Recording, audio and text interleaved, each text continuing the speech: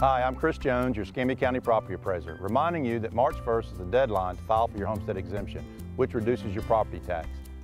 Owners with disabilities and seniors over 65 may qualify for additional exemptions. Just visit our office with proof of ownership, Florida residency, and Social Security numbers for each owner. For your convenience, we'll be open on Saturdays from 9 a.m. until noon. If you have any questions, please call us at 434-2735 or visit our website at escpa.org.